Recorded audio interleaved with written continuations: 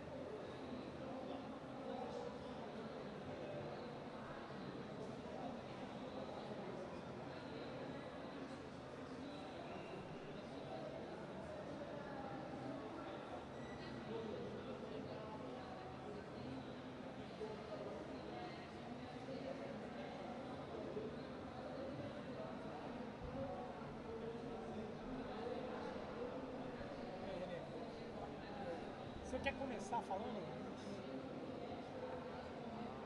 Isso é muito difícil. É, alguém vai ter que começar.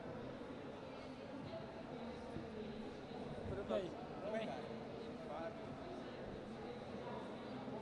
Oi? Debate sobre o quê? Daqui a pouco, aqui no palco principal, a nova voz do povo. Debate sobre o uso das mídias sociais e as ferramentas de comunicação em rede no processo de ocupação do Morro do Alemão e como é que as comunidades podem, estão e vão reagir usando esses novos dispositivos. Bom, Tá bom, Tá beleza? tá bom. E aí, Marco? Como é que a gente vai fazer? Vocês querem apresentar alguma coisa? Eu achava legal você contar um pouco. História para dar o tom aí da conversa. Tá faltando. O slides. Ah, tá, ele tem slide? Eu também tenho. Tem também? É pra você dar um apoio para as Tá, não, beleza. Você. Você quer começar? Pode começar? Tá Acho que de repente você pode dar uma sumarizada pra galera legal.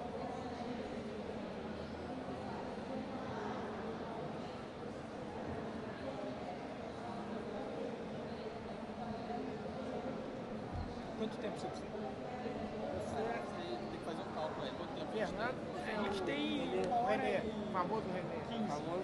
Eu tinha pensado em 15 minutos para cada um e meio, porque era uma hora e meia, mas diminuiu um pouco. Botar 10 Tá minutos cada um dá tempo para debate. Dá, dá tempo. Dá um. Deu, né? 10 minutos você consegue. apresenta, apresenta o trabalho. Centrar a discussão em alguma coisa específica, você não tem noção. Não, eu queria. é, eu, eu pedi, na verdade, para o Fábio começar a apresentar. Eu pensei em deixar 10 minutos para cada um fazer uma, uma explanação.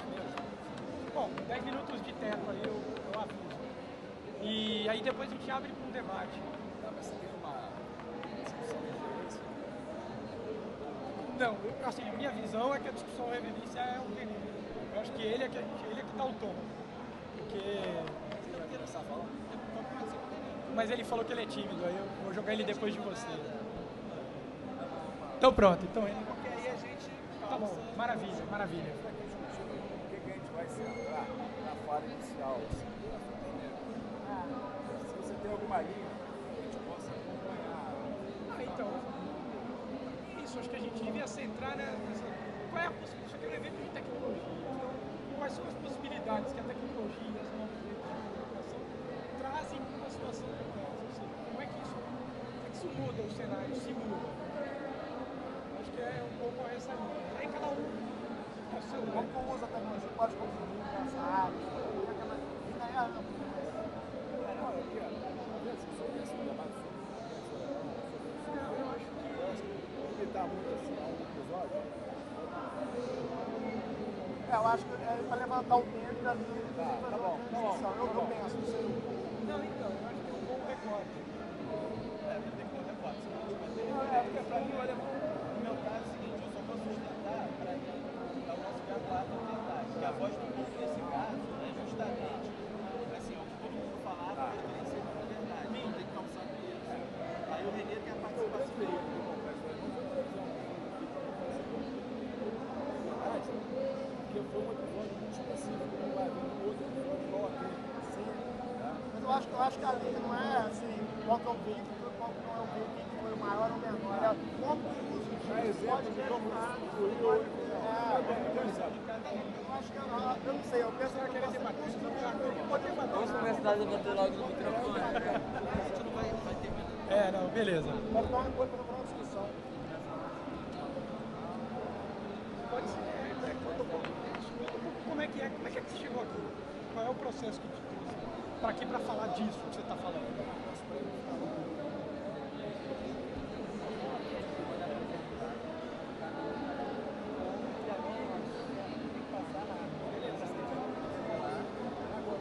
Começar com você. Não tem comando não, né? Você slide. Tem, tem, tem. Só precisava da produção. Não, vai, toca aí, toca bar. Beleza. Vai passar slide. Eu, não sei se tem, eu vi pessoas com isso. Bom, vamos então começar aí o debate, o painel sobre a nova voz do povo e como as novas tecnologias as redes digitais podem e vêm contribuindo aí para esse tipo de manifestação né, das pessoas e dos cidadãos. Vou apresentar aqui a nossa mesa, Renê Silva, morador do Complexo do Alemão, publica o jornal A Voz da Comunidade. Para quem quiser seguir no Twitter é René, underline Silva, underline RJ. Fez uma cobertura em tempo real da invasão vista de dentro da favela. Fábio Guzmão é jornalista, escritor e editor de Cidades e Política do jornal Extra, no Rio de Janeiro. E além de responsável pelo projeto que criou o blog Casos de Polícia e Segurança. Dirceu Viana, coordenador da assessoria de comunicação da Secretaria de Segurança do Rio de Janeiro e é responsável pela estratégia das redes sociais na instituição. E Fernando Barreto, sócio-diretor da Web Citizen e um dos criadores do Vote na Web, um site de engajamento cívico com reconhecimento internacional da ONU. Sou Pedro Marcum, entre outras coisas, coordeno uma comunidade chamada Transparência Hacker, mas vou estar atuando hoje aqui só como mediador dessa mesa. Para a gente começar o nosso debate, queria pedir para o Renê contar um pouco da história de como é que foi esse, esse momento e o que, que levou ele a estar aqui com a gente. Então, é, boa tarde a todos. E o que me levou a estar aqui hoje com vocês foi o seguinte: no complexo do Alemão, toda aquela invasão que aconteceu, é, foi noticiado através do Twitter do Voz da Comunidade. Mas uma coisa assim que é interessante que no- o meu objetivo não era esse de transmitir para todo o Brasil, para todo mundo. Eu estava publicando no meu Twitter pessoal é, as pessoas perguntavam, porque uma vez eu já tinha ido na redação do Jornal Nacional e as pessoas me perguntavam assim, é, como está o Complexo do Alemão, está tendo tiroteio, pelo, pelo que eles viam na televisão. E aí eu fui respondendo, ó, nesse momento tá passando um helicóptero. Aí surgiu uma ideia de fazer o seguinte, de ir no Twitter do Voz da Comunidade, não como Renê, mas como Voz da Comunidade, e publicar tudo o que acontecia no alemão. Helicóptero sobrevoando, é, o caveirão passando na rua, tudo que acontecia eu colocava no Twitter do Voz da Comunidade. E aí algumas pessoas famosas começaram a seguir e divulgar, como Luciano Huck, é, atora, autora de novela Glória Pérez, Jorge Pontual, jornalista internacional da Globo, começaram a divulgar personagens do Twitter também. E aí, do nada, de 180 seguidores pularam para agora tem 40, 41.500. E então acho que o Twitter do Voz da Comunidade hoje está tá bombando, entendeu?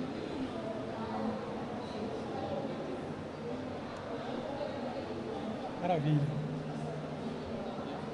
Bom, já. Fábio, se você quiser falar um pouco então e puxar teus É. slides aí. Boa tarde, agradecer. Boa tarde, queria agradecer o convite. É, eu sou editor do, do Jornal Extra, né, como foi apresentado.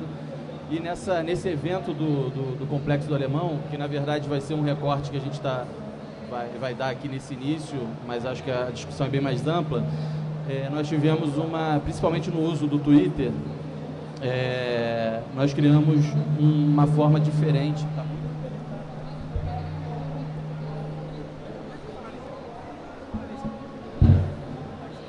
Alô, melhor. É, nós utilizamos a ferramenta do Twitter para poder informar a população naquele momento é, do que acontecia é, é, no Rio de Janeiro. Na verdade, o evento é até anterior a- ao anterior à invasão propriamente dita ao complexo do Alemão, né? É, e a Vila Cruzeiro, parte do complexo da Penha. Ela começou com a série de ataques que ocorreram no, no Rio de Janeiro, é, em que o tráfico começou a atirar fogo em carros, enfim, e, e a promover o terror é, é, é, em toda a cidade. E uma onda de boatos começou a- a ficar muito forte, não só na internet, é, é, é, mas também no mundo analógico, no mundo real. É, então, aquilo acabava demandando muita energia da gente em apurar a, a melhor informação. Porque as redes sociais elas, elas têm uma coisa de muito positiva que é difundir e, e compartilhar conhecimento, informação em muito pouco tempo né, é, é, de uma forma muito rápida. O problema é que nem tudo que circula é verdade. E, e a gente utilizou do próprio, do próprio naquele momento, né, é, é, é, em que a onda de boatos vinha, ataques a shoppings que não existiam, ataques é, a prédios, ameaças de falsa bomba, caminhões com, com explosivos, com quase uma tonelada de explosivos circulando pelo Rio de Janeiro. Tudo isso criou uma série de. de, de, de, de- de- criou um pânico coletivo que era refletido nas redes sociais, principalmente o, o Twitter e também o Facebook. Então, qual era o mecanismo que a gente tinha? Utilizar a própria rede para tentar fazer aquilo é, é, é, é, um mecanismo de, de controle, de, de, enfim, de amenizar aquele pânico coletivo. Eu tenho aqui a, uma apresentação, precisa do apoio do. Ela é muito, ela na verdade não é extensa não, é só para vocês terem uma ideia do que, que a gente criou lá no Extra. Jornalista tem muito isso, né? Quer dizer, enquanto os eventos aconteciam desde o dia 21 de, de, de novembro, o incêndio.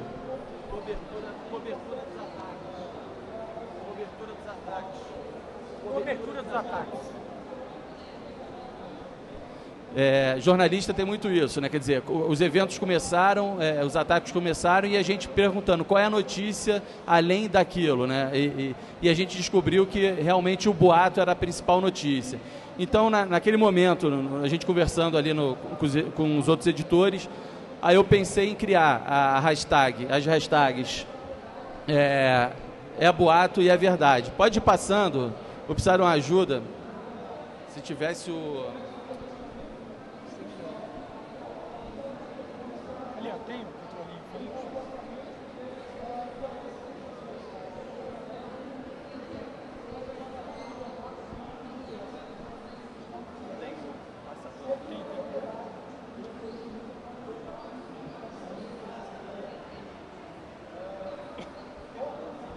Oi?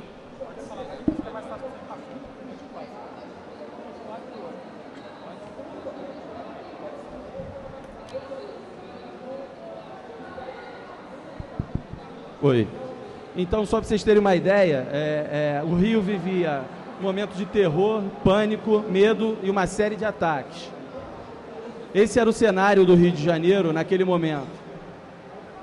As cenas de guerra, é, é, é, a ação da polícia, a apreensão de, de combustível, o uso do caveirão e já os primeiros confrontos é, do combate das forças de- da polícia é, contra o tráfico. Isso tudo a gente já cobria. E aí a gente convivia, eu botei aqui alguns exemplos é, de boatos que circulavam na internet. É, 78 corpos na Vila Cruzeiro, traficantes acabam de matar seis em Copacabana, caminhão de explosivos é apreendido no Alemão. Tudo isso é boato. Então a gente utilizou da própria rede para começar a, a, a, a, minimizar os efeitos dessas notícias que eram falsas, né? E criamos a hashtag é boato no Twitter. E é assim, como saber o que é verdade e o que é boato, no, o que estava circulando ali? Era apurando, é, era você voltar na essência do jornalismo é, é, e começar a ligar, ligar, ligar. Então nós montamos uma estrutura de guerra realmente, é, tivemos reforços de, reforços de outras editorias, justamente para ligar para autoridades, para, por exemplo, se a gente tinha algum endereço é, é, de um, algum ataque, uma rua, por exemplo, uma avenida, um ataque na Avenida Brasil, um ataque numa rua é, menor, nós pegávamos a lista, a lista telefônica e ligávamos para os moradores dessas áreas para saber o que, que realmente era verdade, o que era boato. E assim a gente tinha um filtro, um controle muito mais próximo da realidade, realmente o que era boato, o que era verdade. A gente passou a ligar, ligar, ligar freneticamente.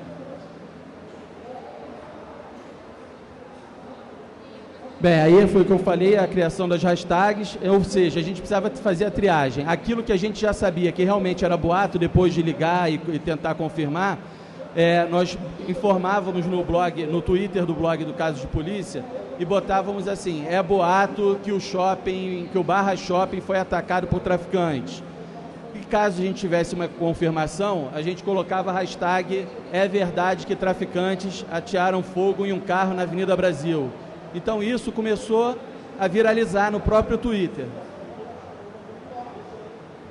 Então, em pouco tempo, e aí eu acho que a gente teve uma ajuda bem parecida que a o Renê teve, é, é, a pessoa que, que, a, que contribuiu para a gente ganhar mais seguidores foi a Glória Pérez. Ela, é, ela acompanha o, o, o, caso de polícia, ela começou a identificar no serviço que a gente criou uma utilidade pública. E aí ela orientou os seguidores dela também a passarem a seguir o caso de polícia. É, então, nós tivemos uma média é, nós tivemos, ganhamos 18 mil novos seguidores em muito pouco tempo. Assim, em menos de 24 horas, nós subimos mais de 12 mil seguidores. E aí a gente começou a utilizar, ou seja, não bastava a gente ficar na redação e, e apenas é, é, é, fazer, criar esse serviço. Esse serviço a gente já tinha estruturado e fez a diferença. É, mas nós começamos a utilizar as ferramentas gratuitas disponíveis de broadcast, como o Kik.com, para filmar direto do, do, do, Complexo do Alemão e do Complexo da Penha, ao vivo, é, as ações das forças de segurança. Eu também criei um pessoal e da rua eu também mandava alguns vídeos. E utilizamos a TwitchCam. É, desde as primeiras horas que, que nós percebemos que o serviço do Eboato a verdade, ele ganhou relevância nas redes sociais, nós começamos a fazer uma transmissão ao vivo de tudo que acontecia, de toda a movimentação das forças de segurança e começamos a informar pela TwitchCam o que, que era boato o que, que era verdade. Pra vocês terem uma ideia, é, tudo começou na quarta-feira, no sábado, às 10h30 da noite, nós, tínhamos, nós tínhamos 2.500 pessoas assistindo é, é, a webcam da gente, direto da redação, com entrevistas que nós fazíamos ao vivo com pessoas que estavam, com, com policiais, com autoridades, que estavam no Complexo do Alemão e no Complexo da Penha. Está é, tá tudo arquivado, quem quiser assistir para ter uma ideia de como foi o serviço, é só na, entrar na Twitchcam do caso de polícia. É, para vocês terem uma ideia, o serviço se tornou tão importante que nós ficamos durante cinco dias montamos um esquema de 24 horas no ar, porque as pessoas tinham essa necessidade de assistir. Utilizamos outra ferramenta para mostrar o que estava acontecendo, que é o slide, slide.com, para mandar muita foto do, do, do front, né, do que estava acontecendo na rua. E as ferramentas é, é, para poder operar melhor é, é, o Twitter. Nós utilizamos também o nosso site para fazer esse canal com o leitor. O leitor mandava mensagens para a gente é, é, para os policiais que estavam naquele fronte, ou seja, e nós levávamos as mensagens lá para o Complexo do Alemão e para o Complexo da Penha, é, eram, eram pra, pra, justamente para mostrar a força é, é, e o apoio que esses policiais estavam tendo. Então nós fizemos um mural lá na, no Complexo do Alemão. Então assim, é basicamente isso, é, é vou, não vou me alongar, foi basicamente esse o serviço que eu acho que com o serviço do, do, do Renê, com o Dirceu também vai falar, assim, a Secretaria de Segurança também fez algumas tweetcans, algumas entrevistas que a gente operou ali. Mas acho que assim, o grande, a grande sacada e o, o que, que mostrou esse evento do Complexo do Alemão, a gente estava até conversando no início, o que, que era o, o, a grande discussão aqui, era justamente, é, é, é, como o tema aqui do debate diz, a, vo, a nova voz do povo. É assim, tem a voz do povo do Renê, que fez um ótimo trabalho, teve a voz do povo que a gente usou ali no Extra para fazer o seguinte, ó, a sua voz aqui é importante, desde que ela, ela diga a verdade, desde que você tenha certeza de que isso contribui, porque a gente viveu um momento muito crítico no Rio de Janeiro. Eu acho que isso que a gente conseguiu fazer nesse, nesse período aí. Obrigado.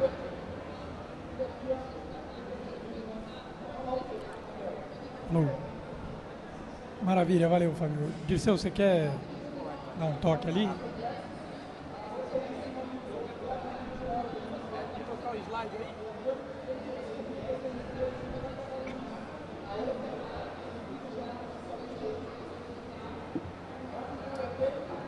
Boa tarde. Estou um pouquinho rouco, estou gripado, mas vamos tentar. É, eu queria aproveitar uh, a deixa aqui do, do Fábio aqui em relação à participação das pessoas né, na disseminação das informações. É, eu acho que cada um aqui tem um, um papel, teve um papel uh, diferente né, nesse episódio.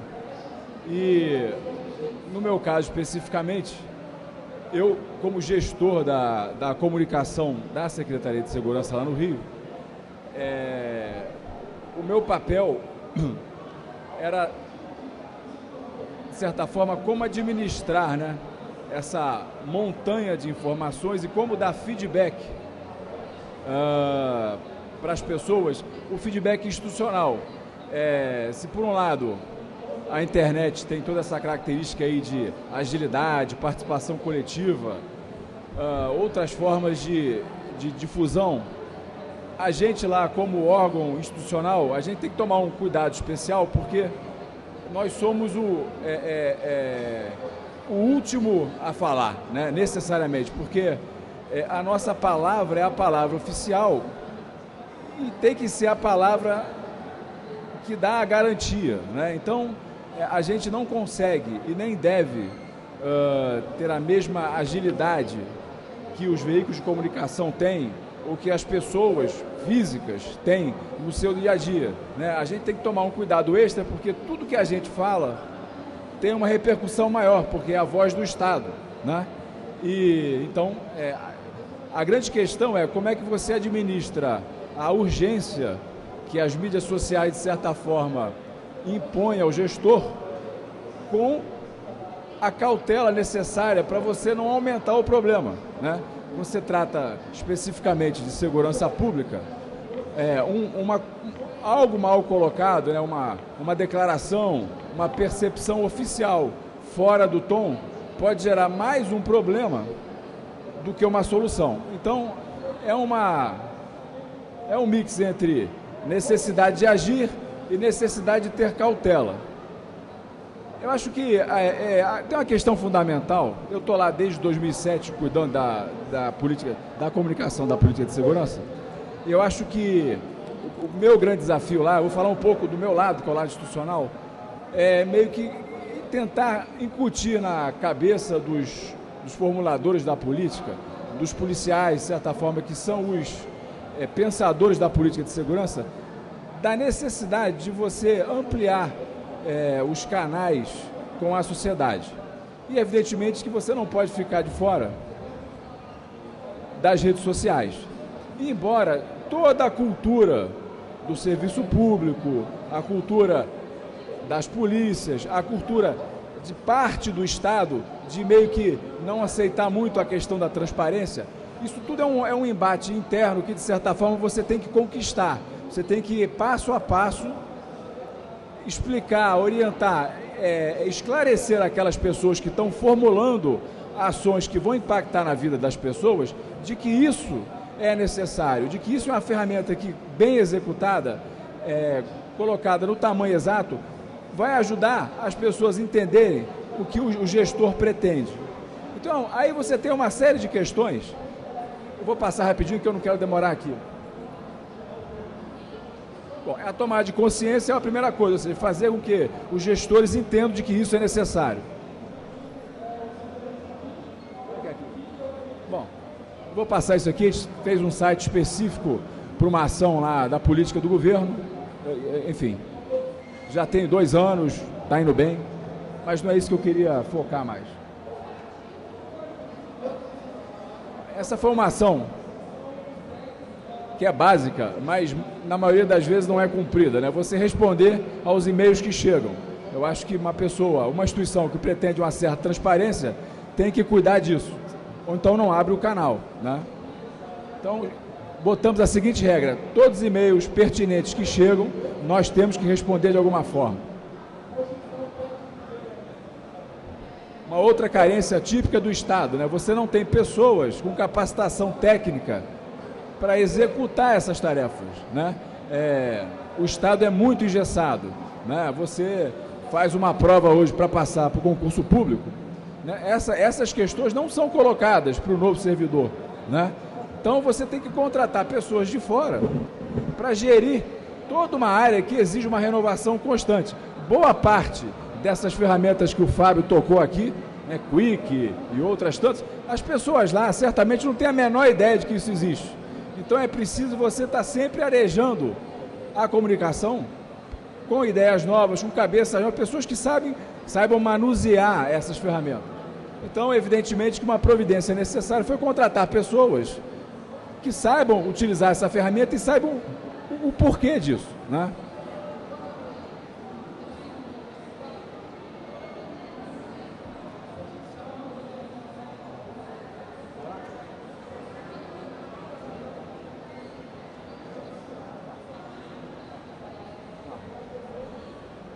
Bom, aqui é um exemplo bem interessante de como é que a gente começou a trabalhar as redes sociais. Eu vou, eu vou desembocar no alemão no final, tá? É, a gente tinha lá, tem o projeto lá das UPPs, que é conhecido nacionalmente, etc. E a gente começou a fazer um trabalho específico nas comunidades que vão receber as unidades. A Tijuca foi um exemplo claro, um bairro tradicional, havia um projeto enorme para essa área, uma descrença enorme, e nós começamos a agir diretamente nas comunidades da internet que falavam do bairro. Então, por exemplo, nós mandamos depoimentos dos policiais, carta do secretário respondendo perguntas, fazendo com que as pessoas começassem a acreditar de que iria acontecer. Isso aqui é um exemplo de uma troca de conversa entre a secretaria e apenas as comunidades da Tijuca. Uma, uma desconfiança enorme ali no texto. É... Bom, uma outra ação lá bem interessante foi o seguinte: na véspera, sem dizer que era véspera, nós convocamos na sede da secretaria todos os blogueiros que nós identificamos como relevantes na região. Então nós identificamos naquela região uns 16 blogueiros, 16 blogs e donos de site informativos do bairro. E convocamos, olha, venham, venham aqui na Secretaria de Segurança conhecer o projeto que já está para começar. A gente não deu muito, muita informação sigilosa, técnica, mas nós comprometemos a secretaria inteira nesse encontro. Colocamos o secretário, os subsecretários, colocamos todo o primeiro e segundo time da secretaria para uma conversa cara a cara com os blogueiros. Cara a cara. E eles passaram mais ou menos duas horas e meia perguntando tudo que eles queriam sobre o que seria esse projeto na área deles e, evidentemente, qual era a nossa intenção? Que eles depois repercutissem aquilo que foi discutido. Dito e feito, deu uma repercussão enorme na comunidade que iria receber o projeto. A repercussão foi tão grande que isso vazou, extravasou para a mídia tradicional. Quer dizer, a mídia tradicional passou a cobrir o evento que era para a comunidade virtual e publicou nos jornais várias notas e colunistas e comentários dizendo que o secretário de Segurança havia recebido uh, pessoas da comunidade para falar do projeto das UPPs. Né? Isso aqui são fotos do evento. Eu tenho aqui até um trechinho, mas não vou passar não. Bom, a questão dos boatos, que o Fábio já falou, nós também trabalhamos isso oficialmente, não com a agilidade dele, mas, mas pelo menos com a cautela e com a certeza de o que era e o que não era.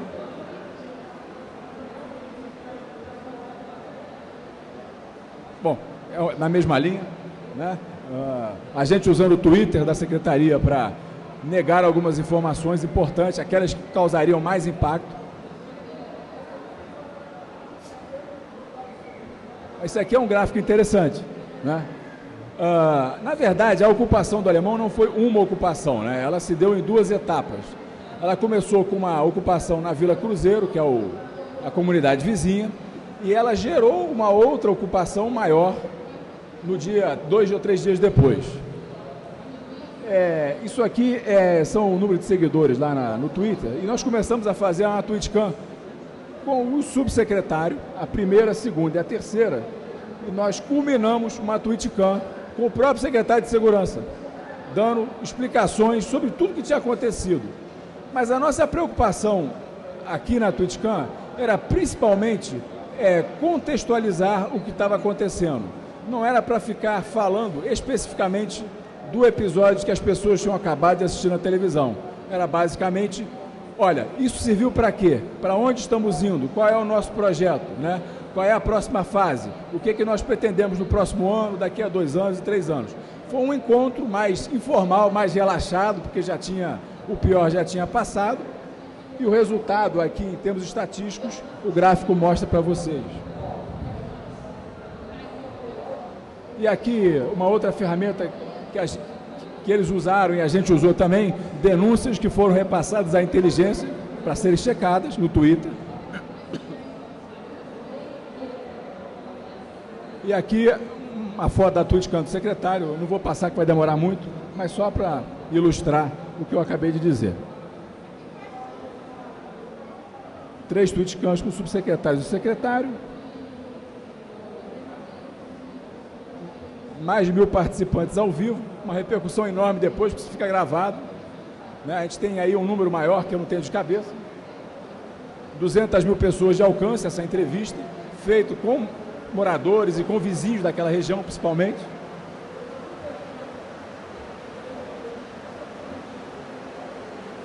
Bom, e acontecendo um efeito inverso. Né? Há uma iniciativa pouco comum do setor público gerando uma repercussão na mídia tradicional. Quer dizer, as pessoas acharam tão estranho o, Estado fazer uma coisa dessa que acabou virando notícia. Né? Aqui, o mediador, a mediana, a mediação, né? a maluquice. Mas, assim, foi notícia em tudo quanto é lugar.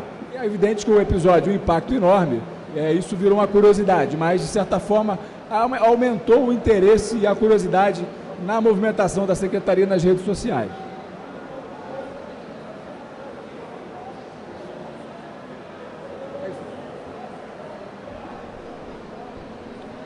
Obrigado, Dirceu. Se você quiser fazer alguns comentários antes da gente começar o debate, acho que valia a pena. Tá, é... Boa tarde, meu nome é Fernando, eu sou do WebCities e queria agradecer o convite de estar aqui. É, acho que o tema é super pertinente e a gente está bem representado aqui um, pelo governo, pela mídia e pelo cidadão. Eu acho que, é, eu acredito que a, a, grande questão que a tecnologia pode nos ajudar com isso é promover uma quebra da hierarquia da informação, né? que é, a gente pode dizer que a informação é, pode ser o grande problema, a má informação pode ser o grande problema é, dos grandes conflitos que existem. Né? Então, a gente conseguir de alguma forma fazer com que essa, é, essa hierarquia seja, seja quebrada, não a hierarquia de poder do, das instituições do sistema, mas que é, a, a, a, hierarquia da informação seja quebrada e seja respeitada e seja valorizada dentro do seu, de, de, de, cada, de cada setor, acho que nós temos um grande passo é, pela frente. Eu acho que o, o governo aqui é, é, do, do, Estado, lá representado pelo, pelo Disseu, tem um grande desafio. Né? Tem um grande desafio, por que, que eu entendo que é um grande desafio? Porque é, é, são instituições, instituições muito antigas que chega a tecnologia e passa por cima. Você tem uma, uma política, você tem uma história de, de, de, das pessoas que trabalham com o governo que é muito difícil dessa, dessa cultura tecnológica entrar de uma hora para outra. Por outra forma, você, por outro lado, você pega o jovem como o Renê, que ele já nasceu com o celular na mão, então é, é, é, é uma, é uma distância muito grande e, e eu acredito que é um, que é o é o que a gente pode contribuir, que é um que a gente tenta fazer na Web Citizen, que é um, o papel de conseguir criar esse engajamento cívico, de como a gente pegar essa informação e qualificar essa informação, como é, é, é, é, é pegar esse monte de informação que está na, na, internet, é, esse volume estrondoso de informação e conseguir qualificar. E eu acredito, sinceramente, que a gente só consegue qualificar essa informação se a gente conseguir sentar todo mundo numa mesa. Tanto os governantes, a mídia e o cidadão. Que, é, por isso agradeço muito de ser convidado para participar aqui, estar tá debatendo sobre esse tema que é, a gente acredita muito que é uma, uma, uma, uma, uma porta, vamos dizer assim, uma oportunidade que a gente vai ter de trazer mais qualidade, mais respeitabilidade para qualquer tipo de sistema que exista. Obrigado, Fernando. Eu vou pedir para descer um microfone aí para quem quiser fazer pergunta. Uh, mas só para começar e provocar um pouco uh, essa discussão, me parece que é um consenso comum nessa mesa aqui que, uh, num contexto como esse, acho que o, a gente discutia logo no começo aqui, ah, não vamos focar, não vamos discutir exatamente o episódio do Complexo do Alemão, porque ele é um episódio, enfim, e que traz, tem uma série de, de considerações a serem feitas, mas, mas no fundo é, é uma situação de conflito, uma situação uh, de crise, uh, no qual as redes sociais, nos quais as ferramentas de comunicação e, como diz o título da nossa, do nosso painel, é um espaço onde a nova voz do povo pode fazer alguma diferença, mas assim também é as chuvas que hoje afligem o Rio de Janeiro. Acho que aí também tem um espaço para esse tipo de ferramenta ser utilizado. Ainda assim, a minha provocação aqui é o seguinte sentido: ainda que o René represente aqui a sociedade, e eu já ocupei esse espaço em alguns debates, eu sempre acho uma carga pesada demais uma única pessoa representar a sociedade civil. É, ainda assim, ele, ele publica o jornal A Voz da Comunidade. Uh, e nas várias apresentações, ou em todas as, as falas, comentou-se, olha, esse aqui é o número de, de, é o aumento de seguidores do meu perfil. Tem mais gente consumindo a minha informação por esses novos meios, por essas novas tecnologias. E isso é muito importante. Mas até que ponto né, a gente conseguiu, tanto nesse episódio do alemão, e até que ponto a gente de fato está aumentando o número de vozes que estão dialogando e que estão falando e trazendo informação. Porque o processo, de novo, se a gente volta à origem do jornalismo, o processo de numa redação, num, num ambiente de, de, de guerra, né, junta, desloca pessoas de outras redações para fazer esse trabalho de telefonar e ligar e confirmar com as fontes, é um processo legal para caramba que gerou um processo muito interessante. Mas no fundo, no fundo, as redes sociais que poderiam estar sendo usadas para de fato alimentar isso, se a gente tivesse é, é, uma inclusão social e digital nesses morros, nesses, nesses espaços, é, talvez não esteja sendo contemplado como deveria. Então a minha pergunta é, do ponto de vista de, de, de comunicação, como a gente trabalha esse desafio e do ponto de vista de política pública, como é que a gente trabalha para de fato empoderar novas vozes e fazer que eles usem a sua Twitchcam, eles usem o seu Twitter para poder serem agentes comunicadores. E eu acho que um pouco o PP Repórter tem a ver com essa história também.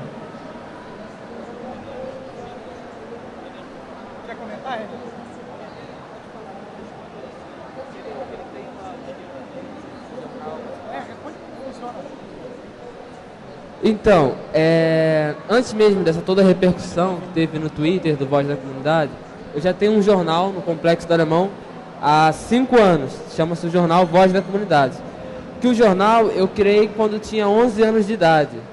Eu participava, na verdade, de um jornal escolar criado pelo Grêmio Estudantil. E aí eu pedi à diretora para participar desse jornal. Demorou um pouco porque eu tinha 11 anos e geralmente é com 13, 14 anos e aí não consegui. Mas eu insisti tanto que ela autorizou. E aí depois de eu participar do jornal, ainda fui procurar ela depois para poder criar um jornal para dentro da minha comunidade. E aí ela foi me dando apoio, foi dando suporte, fazendo as xerox, tudo que eu precisava, ela foi me apoiando. Os professores aqui já ajudavam a fazer a correção do material, de tudo, é, a revisão do jornal. E depois de um tempo eu percebi que tinha as coisas para mudar, tinha que ser mais profissional. Porque às vezes eu colocava, por exemplo, um anúncio, eu pensava, eu confundia muito o que era propaganda e o que era notícia. E às vezes eu colocava assim, por exemplo, é, barraca da Aline está vendendo cachorro quente, extra, na capa do jornal. E eu pensava que era uma notícia, mas não era. Eu estava fazendo propaganda e as pessoas iam consumir nesse local.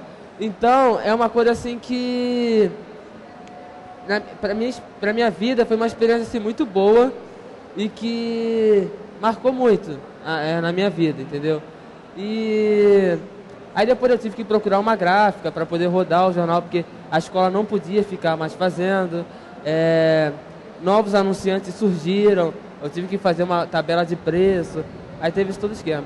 Eu comecei a, a me lidar com a internet quando eu acessei a primeira vez com 11 anos o computador da escola. E eu acessava a internet da escola, pesquisava no Google assuntos tipo horóscopo para botar no jornal e na rádio escolar. E aí eu, na comunidade até cheguei a criar uma rádio comunitária, que era na associação de moradores. Eu criei a rádio e aí funcionou uns dois anos mais ou menos. E assim, as pessoas gostavam muito. Algumas reclamavam, porque sete horas da manhã a gente estava lá já gritando lá para a comunidade. Mas aí as pessoas aceitaram. E o Twitter do Voz da Comunidade foi o seguinte, é, como eu falei no início, não era meu objetivo assim de transmitir para todo mundo, para todas as pessoas de vários países, de vários estados do Brasil assistindo. Meu objetivo no início era mesmo falar com meus amigos como estava a situação, se eu estava bem. É, eles perguntavam, você está protegido em casa? Está no quarto? Está na sala? Está embaixo da cama? As pessoas perguntavam muito sobre isso. Então, eu resolvi informar eles, oh, nesse momento tá passando helicóptero no alemão. Aí eles falavam, fica escondido, não sei o quê. Falava até, para de twittar, procura um lugar. Mas eu estava no local, estava no meu quarto, estava num local bem protegido. E aí, depois disso, a, como ele falou também, foi a Glória Pérez que divulgou o caso de polícia, eu também comecei a seguir. Vocês seguiram, fizeram até entrevista comigo também, várias vezes, para saber como estava a situação. E aí, o, a mídia caiu muito em cima do, do Voz da Comunidade, por conta das pessoas que começaram a seguir. É, eu acho que o primeiro portal de notícias que divulgou, acho que foi o G1. Ele divulgou é, Twitter do alemão, passa informações ao vivo. Foi logo assim, assim que começou a operação no alemão. E aí as pessoas aumentaram, lógico, o número de seguidores. A mídia começou a me ligar, o telefone não parava de tocar toda hora querendo uma entrevista, porque a gente resolveu cobrir isso, mas foi uma coisa assim do momento, a gente não, é, não era o nosso objetivo como é, É Verdade, né, e do, do, Jornal Extra, não era o objetivo assim de, de expandir assim como estava, era só mesmo para informar os meus amigos. E aí as pessoas começaram a divulgar, a Glória Pérez mesmo falou, é, estou acompanhando Voz da Comunidade, aí subia o número de seguidores, Aí dela já vieram outros famosos, Fernanda Paz Leme, é, Hugo Gloss, que é um personagem lá do Twitter também retweetou bastante o caso de polícia. É, várias pessoas importantes assim do Twitter começaram a divulgar, o Jorge Pontual, o Hélio de la Penha, a atriz Susana Pis. Muitas pessoas é, começaram a divulgar o Voz da Comunidade e teve uma visão. E a mídia caiu muito em cima da gente. Por exemplo, é, no mesmo dia que aconteceu essa operação, é, ligou a produção do programa do Gugu. Aí eu entrei ao vivo no programa, não sei se vocês assistiram, passou ao vivo no programa no final, falando como estava a situação no alemão. Aí no outro dia já tinham outras mídias também fazendo entrevista com a gente, o Extra, o Globo, é, as mídias em geral. E eu fiquei assim, é, um pouco assustado com o que estava acontecendo, porque a gente não sabia que ia ter tanta repercussão um simples tweet do que um tiroteio agora no alemão no mesmo segundo tinha 250 pessoas retweetando, entendeu? Então foi uma coisa assim de, de que gente, eu não imaginava que isso fosse acontecer de uma hora para outra e o Voz da Comunidade tivesse essa visibilidade que está tendo agora. É, deixa eu só fazer um. Quando começou né, é, é, esse negócio de rede social e tudo, você falou a, a, parte de seguidores. Por que, que seguidor, nesse caso aqui, no nosso caso, é importante, além de, da, da, obviedade da gente ser um veículo de, de comunicação?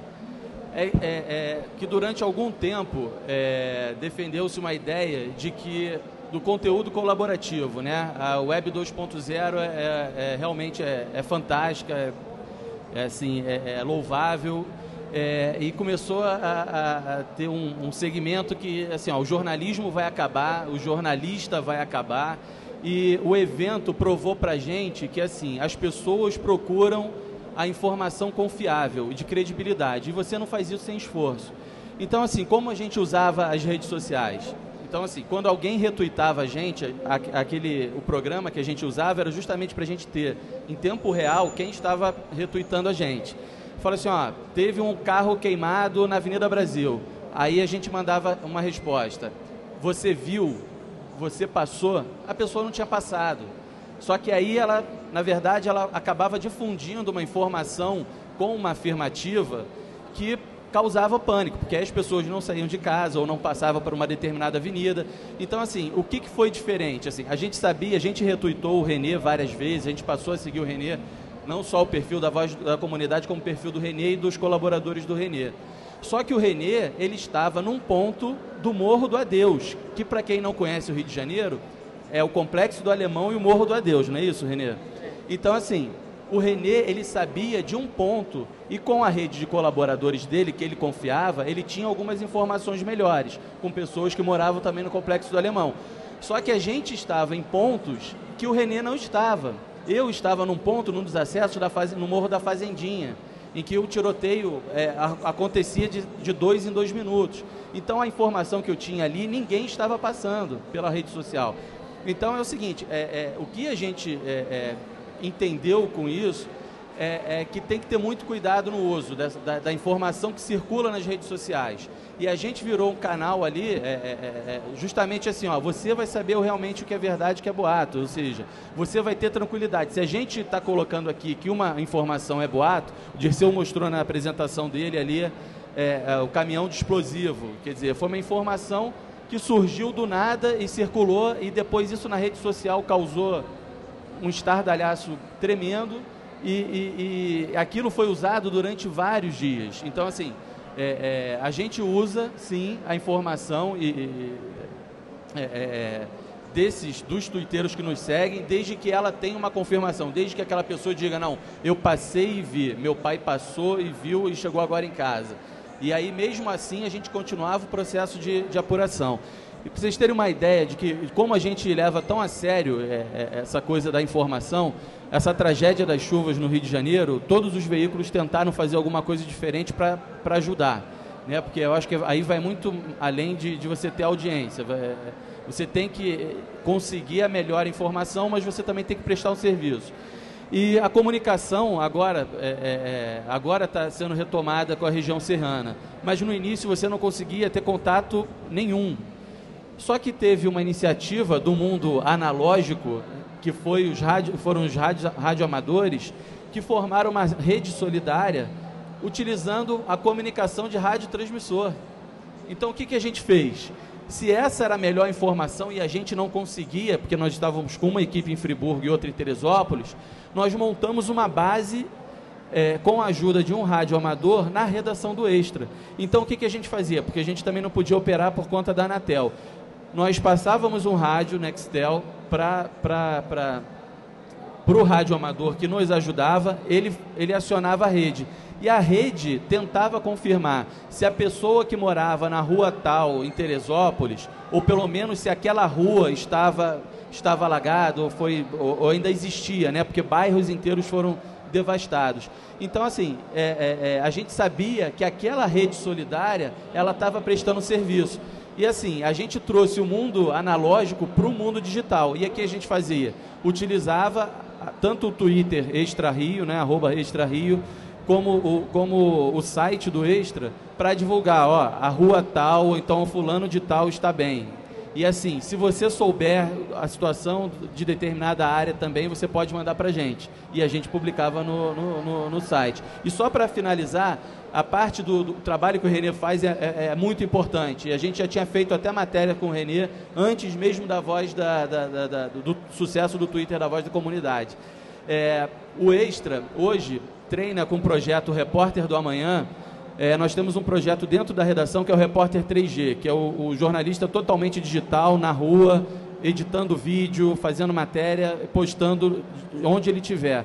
A gente treina hoje meninos de escola, escolas públicas e a segunda escola que a gente está treinando é uma escola só com moradores do Complexo do Alemão, justamente para fazer essa cobertura dos locais que a gente não está. Então, a tendência para 2011 é que a gente treine aí mais pelo menos 10 turmas e nós, nós consigamos ter correspondentes, né, adolescentes como o Renê, que, que possam passar a melhor informação para a gente. Alguma pergunta aí da plateia? Alguém que queira? Show.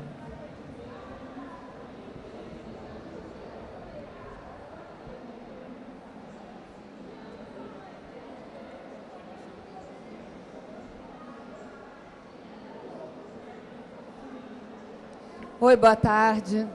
É, meu nome é Ingrid Zavarese, eu sou autora, eu trabalho na TV Globo. E eu queria fazer uma pergunta ao Dirceu, é, que é uma coisa que eu venho acompanhando já há alguns anos. Eu trabalho com marketing político também. E a gente vê uh, que o povo né, uh, se sente, é, vamos dizer assim, achacado achacado, né?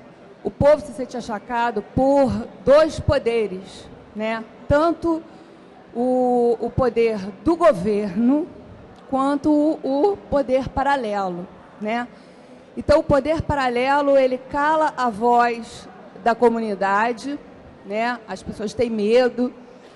E o poder público, ele também, através de negociações, enfim, que a gente sabe, ele também cala a voz da imprensa, ele negocia com empresários, ele negocia inclusive com o próprio poder paralelo, né? Então existe toda uma boataria e existem é, é, uma série de correntes que falam coisas do tipo, ah, o PP é uma farsa, isso não existe, o, o, o tráfico continua vendendo droga nas favelas, e a única coisa que o PP promove é uma negociação, ok, vamos abaixar as armas e tal. É, e surgem boatos do tipo, ah, o nosso governador uh, promoveu a saída da droga de uma comunidade, foi para outra e, e protegeu essa, esse transporte de drogas, enfim. É, onde que eu quero chegar com isso? É, como é que o, o, o poder público hoje vê essa tremenda transparência que as redes sociais estão começando a, a provocar para todo mundo. Ou seja, a, a, rede social, a web, ela começou a virar uma arma muito poderosa nas mãos do povo, nas mãos dos meninos, como Renê. Na, e, e uma coisa muito importante também é que a rede social ela iguala ela, ela é extremamente social porque ela iguala todo mundo. Não importa se o Renier está na, na, na, favela e se a Narcisa Tamborideg está lá na, na, na janela do apartamento dela jogando coisas na Avenida Atlântica e tweetando sobre isso, porque o Twitter iguala todo mundo. Né? As pessoas seguem tanto o Renê quanto seguem a Narcisa e prestam uma atenção imensa no que eles estão falando e estão retweetando tudo que eles estão postando, certo? Então, assim, politicamente, como é que você vê esse excesso de transparência agora para o governo, para as eleições, para as campanhas políticas? Porque tudo que é escrito, isso tudo fica registrado, né? E quando começa uma campanha política, com perdão da palavra, todo mundo começa a jogar merda no ventilador. Entendeu? Então eu queria saber Como é que você vê agora esse, esse excesso de transparência, que é uma coisa cada vez mais crescente, é incontrolavelmente crescente? Em 2010, o Twitter ganhou 100 milhões de contas novas. 100 milhões. E isso é um número que vai crescendo cada vez mais. Eu queria saber o que, que você acha disso. Disseu?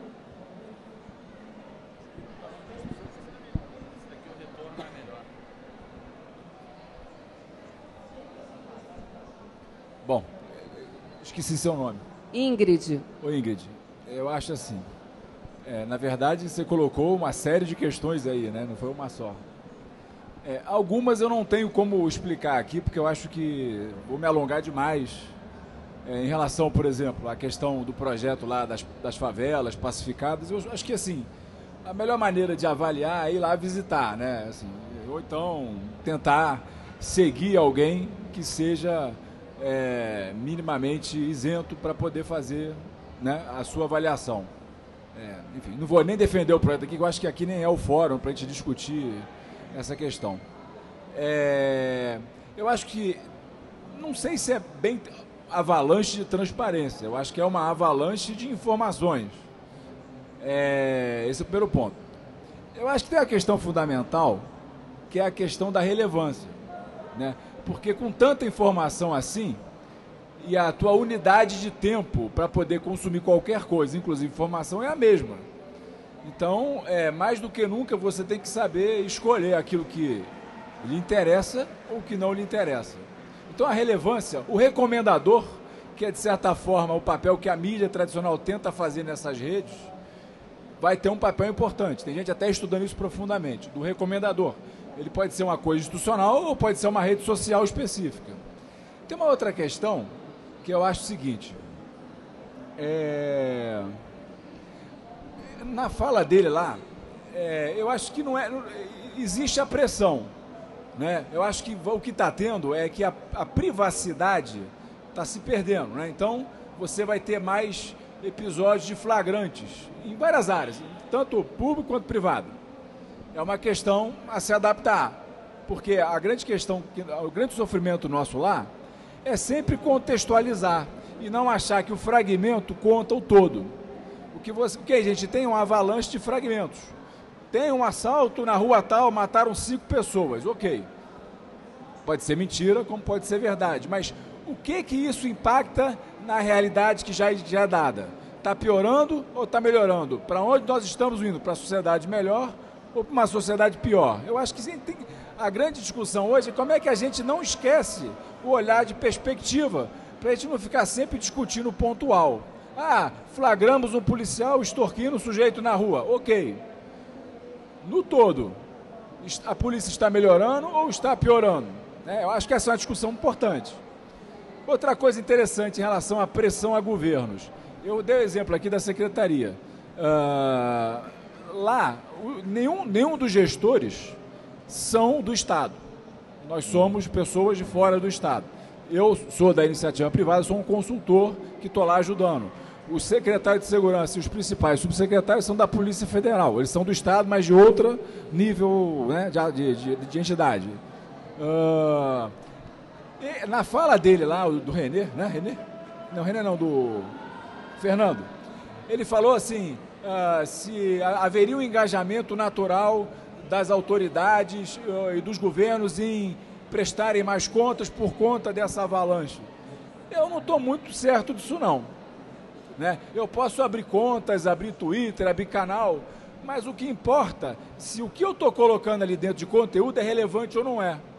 O fato de eu estar abrindo contas no Twitter, ter mais seguidores ou menos seguidores, de eu colocar um site para explicar, eu tenho que ver se o que eu estou colocando é relevante para a população ou não é, é de fato uma prestação de contas, né? Eu acho que a estatística apenas ela não não te diz a toda a verdade, né? Eu acho que há segmentos, hum, eu não gosto de usar essa palavra, mas é que todo mundo usa, menos politizados, é ruim, né? Assim, que talvez é, estejam menos uh, comprometidos com certas coisas uh, estranhas que não vê nenhum problema em usar a transparência como uma ferramenta pra, até para a projeção do trabalho. Eu acho que a Secretaria de Segurança do Rio é um bom caso, sem menor sombra de dúvida. A, a, reputação que o secretário de Segurança do Rio tem hoje, eu acho que nem ele imaginava ter no início do trabalho, nenhum de nós. Né? Isso não é a construção de um ou de uma equipe, isso é todo um ambiente que vai percebendo e vai agregando. Né? Isso é, você tem que surfar, você não pode, vou fazer a seguinte ação, isso vai dar resultado e eu serei bem sucedido. Isso é conversa fiada. Né? Tem todo um ambiente aí que influencia. Mas eu não sei se, assim, é, é, se os governos. Porque o que, são os governos? São pessoas ali que têm um período de tempo para mostrar um serviço, depois elas vão embora. E elas jogam para ficar mais tempo se for do interesse delas. Eu não sei se a transparência é a primeira na lista delas. Né? É, pode ter a pressão da sociedade, eu acho que criaram-se novos canais. Mas eu não sei, eu acho que ainda tem que ser, esperar um pouquinho para ver se é, as políticas com P maiúsculo, né? Vamos incentivar, mas incentivar o quê? Né? Eu posso lá colocar tudo na internet e malandramente não colocar nada relevante. Sou transparente ou não sou? Né? Eu posso dar uma entrevista e não te dizer nada. Eu não sei, eu acho que a sociedade tem que criar outras formas, talvez, de medir essa transparência. Né? não sei, não conheço todas as ferramentas, não conheço o trabalho das organizações, mas uma sugestão. Eu acho que para melhorar a pressão, para agilizar esse processo, eu acho que tem que se estudar de que forma inteligente eu posso descobrir se existe de fato transparência, seja na rede social, seja na imprensa, não importa. Né? Eu, eu vejo assim um pouco. Ok, obrigado. Fernando, quer dar uma. É, eu queria que voltar e fazer um comentário sobre outra questão e emendando nessa, sendo bem rápido. É, a outra questão, o Marcon perguntava sobre a relevância real de quando você vai tendo muitos seguidores, aquilo realmente está se transformando em a nova voz do povo, né? É, Para falar a verdade, eu acredito que nem a no, nova voz do povo, né? A real voz do povo, porque a, a voz do povo sempre esteve lá. Né? Na, na, só que na realidade a gente tinha algumas hierarquias que elas eram filtradas, né? Por, é, por, por pelas instituições, seja de mídia, de governo, de alguns sistemas. E eu acredito que é, é, não existe nenhuma mudança que não tiver alguns grandes desafios. Eu acredito que nós estamos no meio de uma revolução, porém uma revolução pacífica. Né? É, não tem como você dizer que o, o, o, o, desconforto que está gerando em várias pessoas, o volume de informação que dá na internet, é geral, é tanto desconforto de nós usuários comuns, quanto de governo, quanto de mídia, é, é, é todo mundo está tá, tá esperando o que fazer com isso, né? O que, como nós vamos resolver essa questão? Eu acho que o grande, o, o grande benefício que eu acho que a gente pode focar, que é o que a gente acredita muito, é que quando você acredita, quando acontece que o Renê está lá na casa dele, passando informação, e, e o Renê, quantos anos você tem? Com 17 anos passa a ser ouvido ele passa a interferir no seu bairro, na sua comunidade, o senso de pertencimento que o Renê adquiriu, a gente não tinha antes aquela, ele tem um senso de pertencimento, de estar ali na comunidade, de interferir na vida, que a gente não é, isso não era possível antes sem, sem a tecnologia. É óbvio que esse benefício nos traz outras, outras, outros problemas, né? É, é, é, é outros problemas que da, da, da, informação exacerbada, enfim. Quando entrando um pouco no assunto aqui da, da, da Ingrid, eu acredito o seguinte, Ingrid, sempre que, que tiver alguma disputa, você vai ter verdade e boato. Então, quando você entra na questão de segurança, você vai, você vai esbarrar no governo. Você entrou no governo, você vai chegar no governador, que vai chegar no, numa questão política. Aí sempre vai ter boato, verdade e boato. Né? Para mim, como que a única maneira, ou a maneira mais difícil, mas que é a mais eficiente de combater isso, é você valorizar um dos pontos. Né? Então, se está existindo muito boato, é, talvez o melhor dos pontos seria a gente valorizar o que, o que é o que é, é, é o que é verdade. Não dá para mim chegar lá e falar assim, não, isso é boato, gente. É, é eu acredito, o, o, o, o, Disseu, que um, um, grande papel do Estado não é uma pressão para abrir os dados, porque essa questão de transparência é uma coisa muito polêmica. Né? Quando eu falo polêmica, é que os, os próprios governos, eu já participei em alguns fóruns, inclusive com o Marcum, é, é, é muito destur, é, deturpado o que é transparência, o que é um governo ser transparente. Nós estamos um pouco distantes de ser transparente aqui no Brasil. Nós vamos chegar lá? Acredito que vamos.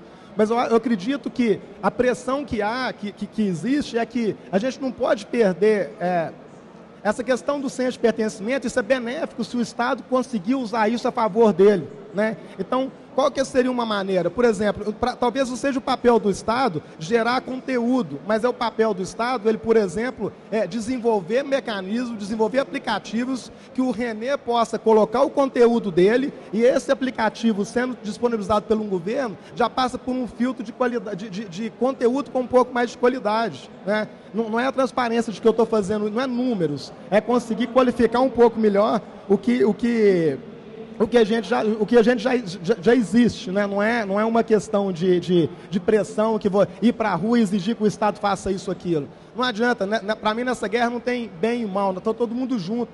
Não adianta ser só crítica. Né? Problema tem muito. Agora, o que podemos fazer? Eu acho que a discussão tem que ser essa. Né? Bom, estamos com um problema. O Estado tem dificuldade, o cidadão tem dificuldade, a milícia está lá com, dominando tudo, mas aí, nós estamos aqui querendo fazer alguma coisa, o que a gente pode fazer? Né? É, é, em, em, palavras rápidas, como a gente pode valorizar o que é do bem, que eu acho que é a essência de cada um que quer fazer. E eu acredito sim, com a tecnologia e com cada um fazendo o papel dele, o Estado é, disponibilizando a tecnologia e, e, e, talvez os aplicativos que possam ser usados. O cidadão colocando conteúdo, que todo mundo pode produzir conteúdo. A mídia fazendo o papel dela de uma, de uma forma mais crítica e mais, mais qualificada. Né? Eu acredito sim que a gente tem muito a, a, a melhorar, não tem, não tem dúvida nenhuma disso, principalmente no Brasil, que a, a, a própria Ingrid falou, é, é, é um, a, a, a disponibilidade, a, a, a a, o brasileiro tem uma certa, tem uma, uma, uma, predisposição a absorver a nova tecnologia muito rápido. Tanto é que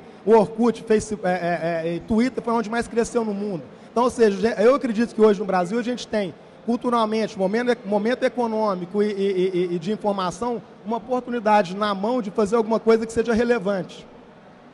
Enfim, é isso. Maravilha. Acho que a gente tem tempo aí para mais uma pergunta, duas. Vou fazer o seguinte, eu vou pegar as três perguntas e aí a gente encerra, porque a gente faz as três perguntas de uma vez, pode ser?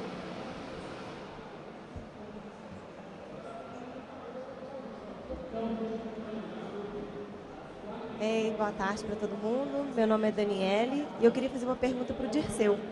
Eu queria saber. Acho? Oi. Oi, oi. Eu queria saber do Dirceu se dentro da secretaria já existia, assim, no plano de gerenciamento de crise, a questão das mídias sociais, porque essa invasão aí nos, nos complexos foi um momento de crise muito forte, né? E eu queria saber se, se vocês já previam que ia ter esse volume de informações muito grandes nas redes sociais e se dentro do, do seu planejamento de gerenciamento de crise de comunicação, se já existia algumas estratégias direcionadas para redes sociais, para as mídias digitais. vou fazer todas. Oi, meu nome é Fátima. Uma coisa que eu sinto em nós, de uma maneira geral, é que nós tendemos a acreditar no pior e falamos mais do pior. Parece que nós fizemos um país que não serve para ninguém. Né? Como é que a gente lida com o nível de fofoca e o nível de maldade? Né? Eu acho que isso que é um negócio legal de saber. Né?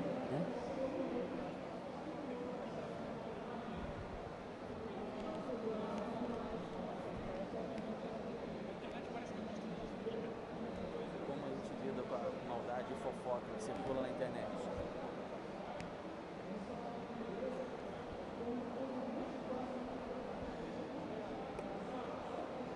Alô? Boa tarde. Bem, eu trabalho com tecnologia, então eu tenho é, conhecimento, domínio de tudo isso aí que a gente está falando, de mídias sociais e tal. Eu trabalho diretamente com isso. E sou carioca, também conheço a realidade do Rio de Janeiro, vivi lá meus 28 anos. Então eu, eu sei bem como que é essa situação. Sei que a população lá tem é, já uma desconfiança, já não, ela não deposita confiança mais, nem no governo e nem na mídia. Porque muitas informações são encobertas. Em diversas situações isso aconteceu. Até mesmo nessa situação do complexo, quando a gente vê na mídia, parece que a cidade inteira foi tomada. Isso é uma coisa que, por exemplo, não é verdade. Nada que acontece na cidade inteira. Rio de Janeiro é muito grande. Então, a impressão que é passada para as pessoas de outros estados, eu também, como já saí muito do Rio de Janeiro, inclusive nessa situação aí, eu não estava no Rio.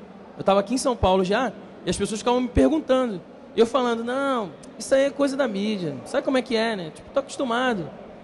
Já cheguei em Curitiba, conversando com amigos, e as pessoas que nunca tinham ido ao Rio de Janeiro achavam literalmente que a gente andava em meio a tiroteios todos os dias. Que a gente desviava de balas e coisas desse tipo. Então, a imagem pública do Rio de Janeiro para fora do Rio de Janeiro é muito diferente do que é lá. Só quem mora lá, quem vive lá, sabe como que é e sabe do exagero da mídia e sabe do encobrimento de informação que o governo sempre está no meio. Então, assim, quando ele falou que estão bem representados pelo governo, pela mídia, pela população, mas ainda assim, quando há um atrito entre um e o outro, sempre é a população que paga o pato. Sempre onde estoura. A corda sempre arrebenta do lado mais fraco. Então, assim, a- a- o meu questionamento é: será que a quantidade de boatos, talvez até vai responder um pouco do que a professora Fátima falou ali, que será que a quantidade de boatos e de mentiras te- teve tanta credibilidade porque a mídia e o governo já estão perdendo a sua credibilidade? Então, aí a proposta dele é muito relevante, que no caso, talvez realmente a participação popular real vai começar a criar uma credibilidade maior se a mídia e a população caminharem juntas e contarem a mesma história, não vai reforçar a verdade e vai calar os boatos. Então, tem que haver. E isso eu acho que é transparência. Entendeu? O povo podendo falar e a mídia sem encobrimento de fatos. Porque sempre fica aquela história na mídia do governo, não, porque isso aqui vai causar caos, vai causar confusão, mas muitas vezes causaria soluções. Mas é uma desculpa encobrir os fatos. Então, será que o fato de tantos boatos acontecendo não é por causa da falta da credibilidade da mídia e do governo hoje? Tá certo. Obrigado. Eu vou, eu vou pedir para responder aqui. Se tiver, se a gente tiver tempo depois, eu passo de volta para aí, se não ficar muita pergunta. Tá bom? Quem quer puxar aí Posso, primeiro? posso começar pelo fim? Maravilha. Oi, Vamos. Posso Então, fazer a última? Ela eu, quer fazer uma pergunta. Eu queria fazer para o Dirceu. Eu queria É, não, eu, eu, eu queria que- pedir para a mesa responder primeiro, senão a gente vai ficar sem tempo. Eu volto para vocês. Eu tô saindo, eu só quero que ele cheque uma coisa em Teresópolis. Você já ouviu falar de HARP? É um armamento americano que está no Alasca, que muda o clima. Da Raytheon, a mesma que fez o Sivan. Eu acho que vocês dev- deviam dar uma pesquisada em HARP e dar uma olhada no que aconteceu em Teresópolis. Eu fui casada com o porta-voz do Clinton, eu sei o que eu estou falando. Fábio, é, se você puder puxar aí a resposta mais Tá. É, é. Entrar no mérito. É, começar pelo fim aqui, pela, pela parte que trata da, é, que trata da mídia aí. Eu vou falar é, pela experiência da gente. Eu acho que a gente sempre tende a satanizar. Eu tive essa sensação, quando, toda vez que eu saio do Rio e alguém pergunta sobre o Rio, realmente parece que a gente vive numa área, parece que, parece que a gente vive no Iraque. Eu acho que em alguns momentos a gente vive sim. É, é, é, e viveu durante várias vezes. E algumas vezes a mídia ajudou a difundir boatos, sim. É, é, o Dirceu até mostrou um exemplo aqui na apresentação dele. Só que é muito simples, porque não existe informação que a gente publique que a gente não pergunte para pessoas. Então são as pessoas que são as nossas fontes de informação. Então, se alguém produz um, um, uma, uma, notícia que não é verdadeira, é, é, é, tem, dois, tem dois canais. A gente que publica e tem a responsabilidade de não checar direito, né? E tem a pessoa que nos passa a informação errada. Então, assim, nesse caso, eu acho que boato não surge porque a gente está cobrindo mal. A gente não tem condição de estar em todos os lugares no Rio de Janeiro. Agora, o Rio de Janeiro é, é, vive uma situação. É, hoje, eu digo muito melhor. O Dirceu aqui falou sobre o secretário de Segurança. Eu cubro polícia, cobri polícia durante 15 anos no Rio de Janeiro. É, e o Rio de Janeiro, o município, é, é, só você fazer uma conta. Ele tem 156 bairros e 800 favelas. 80% tem tráfico de drogas e milícias. Ou seja, é uma conta que não fecha.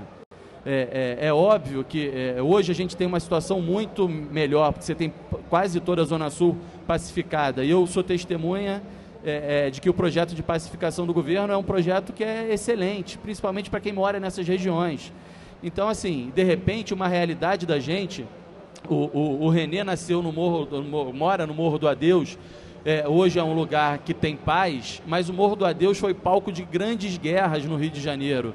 Então isso não é exagero. Quando você tem um tiroteio, quando você tem pessoas que, quando você está indo buscar seu filho na escola, morrem com uma bala perdida, isso não é exagero, isso não é boato. Isso não tem como a gente inventar. E o que a gente fez aqui, o recorte que a gente fez aqui, é justamente mostrar um esforço que, que, que, que a gente está fazendo para a gente começar a refletir o seguinte: olha só, quando eu dou um retweet de uma coisa que não está confirmada, né, é, a gente sempre desconfiar. Aquilo a gente pode estar tá difundindo uma informação que é falsa. Então, assim, todos têm a responsabilidade. E a gente, mais ainda, de checar aquele, antes da gente retuitar também, se checar se aquela informação ali que a gente está retuitando, ela é verdadeira. Então, assim, erros sempre vão, vão existir, equívocos vão, equívocos vão existir. O que a gente está fazendo, tentando fazer, é minimizar isso, é, é, é para que não causem mais danos aí, porque ninguém aguenta mais isso, né? Eu quero sair do Rio de Janeiro e falar assim, pô, eu quero conhecer a praia, isso é muito bom, não tem mais tiroteio. E eu acho que isso já está já tá caminhando para isso. É, quem, quem, foi que perguntou? Quem fez a pergunta? primeira. Ah, tá. Só, só, só pegar uma caroninha aqui na. O rapaz perguntou sobre a. Tá ali sobre. Eu, eu, eu, eu, não concordo 100% com ele, não. Concordo 80%. Eu acho que, assim, eu tenho. Eu já briguei muito com eles, né? Então, continuo brigando de vez em quando.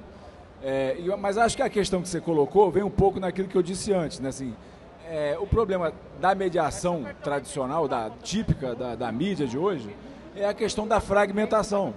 Né? O que você vê ali, sem contextualização, pode perceber-se uma coisa muito maior do que ela realmente é. Acho que isso é uma longa discussão, a própria academia discute isso longamente. Eu acho também que não é o fórum que a gente vai chegar a uma conclusão aqui. Mas essa é uma discussão que é constante no mundo acadêmico, por exemplo. Por exemplo. E é uma discussão, um problema, uma dor de cabeça minha diária. Então, entendo o seu, o seu parecer, eu acho que ele é justificável. É, é, é, merece uma clara discussão em relação a isso aí. Sobre a sua questão, você bem prático e bem rápido é, de uns dois anos e meio para cá, existe um grupo de pessoas uh, que atua no nível de governo como um todo e que dá um suporte uh, em diversas áreas uh, quando vem uma crise e esse grupo vai dá o suporte às secretarias afetadas. É, independentemente disso, eu pessoalmente, como a minha área é uma área confusa desde sempre, eu tomei a precaução de, de, ter uma pessoa que faz esse trabalho de alerta e de intervenção, vamos chamar assim. Né? E quando a coisa cresce e fica num nível muito maior, eu recebo uma ajuda, eu peço uma ajuda, telefone vermelho desse grupo digital que o governo disponibilizou. Além disso, eu, eu recebo, eu tenho relatórios diários do fluxo de internet, dos assuntos uh, de segurança mais incômodos, vamos chamar assim, potenciais geradores de crise. Então, eu tenho aquilo ali, é, vou dizer que não é muito. Depois de um mês lendo aquilo todo dia, você fica meio. Ah, né? É, porque, em geral, a internet, com a relação, com relação a assuntos de governo, é sempre muito crítico, tem muita opinião ah, raivosa, é uma coisa assim descontextualizada você não consegue extrair muita coisa relevante de todo esse material que chega. Às vezes tem coisas interessantes, tem que prestar atenção e pode até absorver alguma coisa boa da discussão que de que forma a população pode colaborar. Eu acho que são várias coisas. Eu quando recebo esse material e tem algo que eu acho interessante, eu absorvo, né? Mas vai muito da minha sensibilidade. Eu não sei, assim, eu acho que é, é sempre tem as pessoas no fundo, né? Então, assim, a ferramenta está aí, as possibilidades estão aí, mas sempre no final vai depender também do recurso humano, né? Da intenção. Se eu estou pensando no coletivo, estou pensando no bem coletivo, eu vou supostamente usar bem a informação para o bem coletivo. Se eu não estou nem aí para o bem coletivo, estou usando o Estado para fazer outra coisa, eu posso ter toda a ferramenta do mundo, né? E não vai acontecer nada. É só isso. Eu vou perguntar se alguém quer fazer uma colocação final, mas a galera da coordenação está me olhando com cara feia ali, então a gente vai ter que encerrar o debate por aqui. Mas enfim, eles estão todos nas redes sociais, acho que perguntas eh, podem ser feitas pela rede e certamente na descida aqui, se vocês encurralarem, também não vai ter para onde fugir. Quer fazer um comentáriozinho final, Renê? Se quiserem, se não quiserem. Então tá bom, então vamos encerrar. Muito obrigado pela presença de vocês e de todos vocês. Espero que o debate tenha sido proveitoso.